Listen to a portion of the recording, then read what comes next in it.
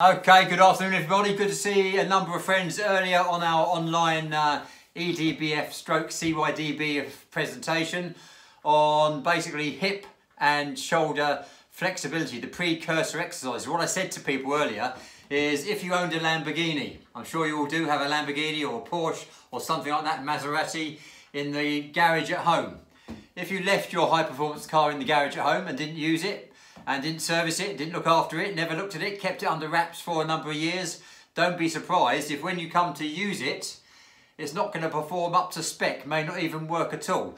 And that's the analogy we use when we're talking about the shoulders and the hips, but the body in general. So these exercises, these FAME exercises, it's my particular system, F-A-M-E, flexibility, agility, mobility, energy. It's not about really heavy weights, it's about mobility and flexibility in preparation for the demands you're going to put on it, either in other gym work or in dragon boating or any other sport or daily life for that matter. So let's walk you through the various exercises. I call them daily exercises, I do them daily.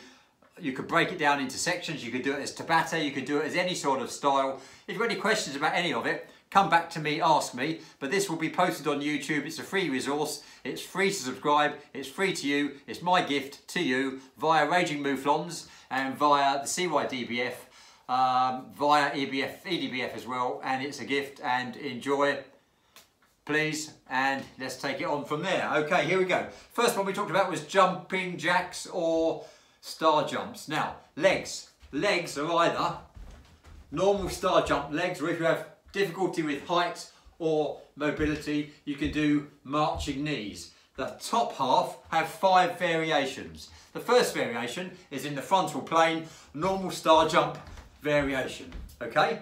And remember it finishes up here, not down here or down here. Option two is frontal plane and sagittal plane. So you see we're warming up the body aerobically and we're also warming up the hips and the shoulders in its full range of movement, planes of movement. So basically, there we go, one forward, one back. That's option two. Option three is two forwards, two top forwards and top. There we go. Simple as that. Legs doing the same. Option four, palms down to palm up, a horizontal lateral extension, okay? Palms down, palm up. And option five is like jump rope, but notice I'm interlocking the hands. So my left hand in front, left hand's behind. There we go. You could, if you wanted, add some spotty dogs as well as an added extra for number six. Okay then, so let's take it through. Let's call it six. So I'll do five of each. So one, two, three, four, five, and one, two, three, four, five, and one, two, three, four, five, and one, two, three, four, five and one, interlock, two, three, four, five and one, two, three, four, five. What I tend to do is sets of 10 and I go through for about 90 seconds. That gives me a good pulse raiser, raises the heart rate, raises the pulse, gets me thinking, gets the joints working. Okay, so then moving on. So you can, it's designed to use a paddle, but I'm gonna use this white piece of pipe because it's easier to see. And also I've got a light here. And want to, sooner or later, I'm going to take the light out. So let me take you through it. Posterior chain. The posterior chain, I'm sure you know, is the muscles of locomotion down your back, ranging from your calves in the bottom, through your hamstrings, through your glutes, into your lats, trapezius, rhomboids, etc, etc. Those big muscles of locomotion as we go through moving, not just from day to day, walking, running, all the rest of it. So the posterior chain stretch, there's four, there four points to it. Up at the top, all the way to the top, notice my knees are unlocked. They're not locked out. So soft knees. All the way up, all the way down, and my, spine, my spine will lengthen out as I do it, to the left and to the right. Now notice when I rotate externally and laterally, this hand is stationary and I'm rotating around that point, stretching through the obliques. This one, same again. So I'm not coming up here. That will work, but this is a better stretch. this way. So the four parts in the posterior chain stretch and oblique stretch, up, down, rotate, rotate, and up, down, rotate, rotate. Big stretch, remember to keep the knees unlocked, soft bend in the knees. Okay, body rotations, very simple. Up over the shoulders, you can do this with resistance, resistance band as well, and we're looking for a good rotation. It's going to be range of movement rather than speed. If you can get range of movement, then you can increase the speed, but one comes before the other. Okay, there we go. What I'm trying to do, I'm standing sideways now, is get through 180 degrees if I can achieve that. Okay, there we go. Body rotation fairly straightforward. The next one is the overhead arc. I also call these take thats. So there I am at a take that concert. Frontal plane exercise, side bend exercise. But instead of just going to there, what I'm aiming to do is try and get this hand down around about my knee or behind my knee. And what you'll find, same as a posterior chain, as you do it, you'll find your, your, your back loosens up, your obliques lengthen out a little bit and you get a little bit further down, okay? So that's what we're looking for. Once again, range of movement rather than speed. And just let gravity do its work. There we go. Take that, or overhead arc. Next one is a squat. You're familiar with squat. Once again, we're going to sit back. We're not going to lean forwards. And the idea is that my knees don't go any further forward than my toes and I drive the ground away as I stand up. But not just a straightforward squat, overhead, just to lengthen out the core. I don't want you leaning back here, so that when you, when you squat down, let the arms naturally come forward. Try and keep the spine neutral. And when I say spine neutral, I don't mean upright, I mean neutral. So it can be at an angle and still be in line. Okay, so there we go. Overhead squats. And from the front, it can either be parallel or sumo squats. Both work, as long as we get in as far down as we can, keeping the head up and spine neutral. Okay, overhead squats. Next one is going to be the up and over and sagittal stretch or bow. So an up and over is quite simply, as the name suggests, up and over, mobilising the shoulders. and the sagittal stretch is up and over and take a bow, feel it in the hamstrings. Up and over, take a bow. You see what I mean? So it's two part movement again. There we go, and one more. Really mobilising the shoulders. Okay, there we go. Moving on. Halos or helicopters. So we're rotating around our head. So describing an arc, a circle around our head. You can really feel this in your obliques again and mobilising your shoulder at the same time. So I tend to do this 30 seconds in one direction or in the other. If you do any of these exercises Tabata style, there's an on interval and a shorter off interval, yeah, depending what you do. And the way to progress is to increase the time interval or intensity, or you could work with a weight bar as opposed to a paddle. It's geared up for paddles, but you could do a heavier weight as well. Okay then, so there you are, helicopters or halos. Next one is going to be the kayak stroke, which is, imagine I'm in a kayak and if you think about the dragon boat stroke, I've still got the setup where I've got my lower hand in front of my top hand. And here it's a hip and shoulder and serratus anterior, this muscle that reaches across the big swing muscle we use when you punch, okay? So what we're doing here is we're doing a push, push, push swinging the hips, locating it. It's aggressive, but it's precise. Almost anaerobic as an exercise.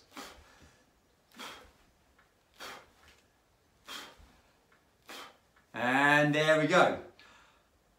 Last little one before we change over. So we're going to do the Dragon Boat hip flexor. Now, it doesn't matter which leg you normally paddle forward in the dragon boat. That's not really what we're testing here.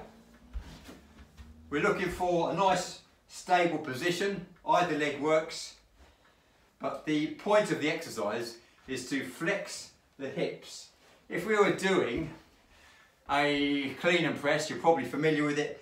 As you do a clean and press, as a bar comes up, you do a triple point extension. You extend the hips, the knees and the ankles. So that hip extension is what we're looking for. If we want to get forward, we need to open the hips and that's your rotation and your reach, however you particularly teach the stroke at your location. So what we're looking for is up and over, up and back.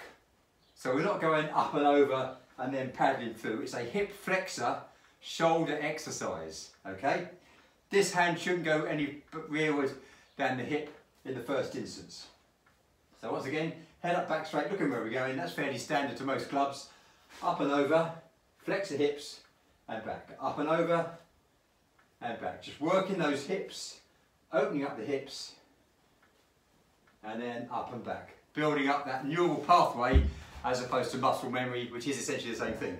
You can extend this same exercise into the posterior phase or a posterior phase.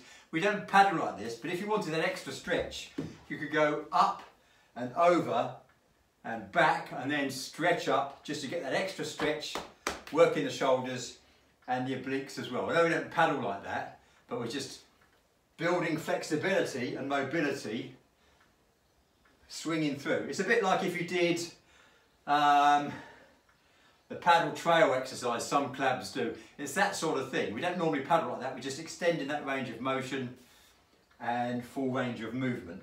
Okay, that's another variation to that.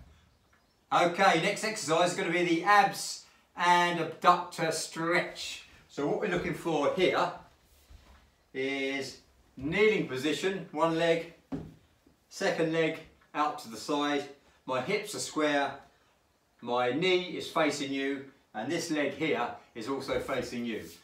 And once again, similar to the, the, uh, the side bend, the take that exercise, we're simply going from one extreme to the other and here we've got more of a stretch in the legs as well. So side bend exercise again, once again using gravity, using your weight to accentuate and develop the stretch. Okay, so that is the abs and adductor and oblique stretch. Both sides obviously we line up again on the other side, set up exactly the same and replicate the same stretch so we get different stretches in the legs of the, well, the opposite leg in this case. Okay then, moving on. Something a little bit more shoulder specific. Now in the old days we used to do what we called the doorknobs exercise. That sort of seems to be coming back in again where we're rotating that arm horizontally, full range of movement, okay? And then we do both forward, both back, and then we do opposition. So we can accentuate that with our dragon boat paddle. So what we're doing, holding the paddle in one hand, I notice this hand is behind my back, and we're rotating using the paddle as a bit of a lever, a little bit more weight. It's only half a kilo, but that's enough just to help you accentuate that stretch. And with this hand, I'm holding up my back as far as I can get it comfortably. So we're looking at mild discomfort rather than pain. If I don't use that hand, I've got a stretch through my shoulder. If I stretch up my back there, I've got more of a stretch that comes all the way through. So we're getting two stretches out of one. That's basically what we're doing. Okay, nice and slow developing that stretch. Doorknob and back scratch I'm calling this. For a minute or a period and then simply same again. I can get my left arm up more than my right so you may have a different range of movement. movement. I keep confusing movement and mobility and I say movement or something. You see what I mean? Nice and slow, nice and steady. A deliberate swing rather than too fast. There we go doorknob and back scratch. Brilliant, moving on. So we're going on to uh, lateral stick stretch. Now, holding my paddle or my stick or my piece of plumber's pipe, notice wrists neutral and knuckles facing upwards. Let go with the right hand, go into the left, let it rotate around, and I end up with my thumb facing down, and if I bend my elbow, I've got the stick parallel to my forearm, which is vertical, okay? Apply a bit of rearward, apply a bit of pressure, and I'm rotating the arm out laterally, okay? And rotating the shoulder in that plane. soon go off balance that way. So nice light pressure. What I suggest is maybe 15, 20 seconds on, then release. 15, 20 seconds on, not a bounce, okay? Just developing that stretch, developing that range of movement. Okay, same again. You can do this with a resistance band as well. Going to the right this time, knuckles up, let it rotate down. Don't hit the light like I keep doing. That's why I'm using the pipe inside. And that's vertical but parallel to my forearm. There we go. And I'm just once again externally rotating that shoulder. Brilliant, there we go. So that's the lateral stick stretch. Next one, once again, just exploring these ranges of movement that we don't normally, it's like, like I say, the, the functions on your Lamborghini that you don't normally use. If you don't use them at all, like the sunroof, don't be surprised if you press the button two years down the line and it malfunctions. So it's looking at our full range of movement again. And what we're doing is prying our arm away from the back. It's like the back scratch, but a little bit more developed. Okay, take it easy. Okay, so we're developing that range of movement, developing the stretch over time. Okay, once again, 15, 20 seconds on maybe, and then release and on again. And it's that sort of situation. Okay, light pressure, let gravity do the work, let the leverage do the work rather, and then once we've done that, swap it over, other side, same again. It could be hand up or hand down. I tend to hook my, my, knee, uh, my knee, my knee, my thumb over it my knee. There we go, and we're levering away from the body again. There we go. Nice light pressure for a period, off, and then on, and then off again. There we go. Brilliant. Right, okay. Moving on, we're going to lunges. Now lunges, I tend to do a three-way lunge. So let's leave the, uh, the paddle for a minute. The three-way lunge, I'm going to lunge using my left leg. So my right leg is stationary. So let's just check that you can see that. So stationary right leg, I'm going to lunge forwards. I'm going to lunge back and use my arms forward for, to counterbalance. And then I'm going to lunge to the side. You see what I mean? So I'm pivoting around the right leg in this case. All I'm going to do with the paddle is introduce a twist. So I'm going to lunge forward, twist left, twist right, come back to neutral, lunge backwards, twist right, twist left both ways, back to neutral, and then lunge to the side, okay? If you want to move out to the side, you can actually lunge out to the side as well. So from the front, if you made it a full three-way stretch, you may not be able to see my legs. Lunge forwards, left, right, back to neutral, lunge back, whoop, I've got a kettlebell there, lunge left, or twist, twist right, and then lunge out to the side, and then open up the obliques, okay? A little bit, I'll do that again on the other side, so I've got a bit more room. This now I'm going to leave my left leg stationary. I'm going to lunge forwards with the right, twist, twist, neutral. I'm going to lunge back with the right, twist, twist, neutral, and I'm going to lunge to the right, and I'm going to do that oblique stretch again. Okay, you get the idea slightly limited in, with range of movement here in terms of furniture, but out in the open you can see I've got a full range to operate and twist and lunge as far as I can. Okay then, now I'm going to switch to the ground movement, so I'm going to change the camera angle, so give me one second and I'll come back to you. Okay, ladies and gents, just to finish off this final section of the, uh, the paddle routine, it's actually called the flying fish paddle routine, the ground exercises. Three or four of these, so we'll start off, you're familiar with the glute bridge. Quite simple glute bridge, feet flat on the ground, up onto the shoulder blades, hips up, and I'm trying to describe a, a straight line between my knees and my shoulders. Obviously there's a bend at the neck. Okay, glute bridge, keep that up. Feel that nice positive tension in the quads. Push the glutes together, and there we go. Pleasant tension in the back, or the small of the back. Okay, that combined with a, a leg raise, up and over the head if we can get there. If that doesn't work, you can stay at a leg raise position there. So the idea is 15, 20 seconds into glute bridge. I've got my paddle or my pole down here and then 15, 20 seconds up and over. And what I'm aiming to do with my paddle is if I can manage it, just push my legs further down to develop the stretch through the hip flexors and extend everything through my spine, okay? And then 15, 20 seconds of that, come down, touch down, under control, back into glute bridge. So once again, got a two-part move, two bangs for your buck out of one stretch. Hips to the sky, 15, 20 seconds, the period you wish. Touch down, up and over, okay? Increase flexibility. If you can only manage glute bridge into leg raise, just locate your hands under your posterior and then raise up. Obviously that's more of an abs exercise as well. Okay, glute bridge into leg raise. The next one is the cross bow sit up. Those of you who are O1 paddlers or maybe kayak paddlers will be familiar with this cross bow. So basically we're going sit up, so full length sit, sit up to there and then right hand reach into left hand, left hand reach into right hand. And if you can get um, to 90 degrees, fine. If your legs flex, that's fine, no problem at all. In fact, it's probably desirable, to be honest with you. Remember, we're going right to left, left to right, okay? So the whole routine is one, two, three, four. One, two, three, four. You get the idea. Once more, sit up, three, four. Once again, flow, flexibility and mobility exercise. The last one is the cat stretch. And there's a number of parts to the cat stretch, some of which you may be familiar with, some of which I've renamed.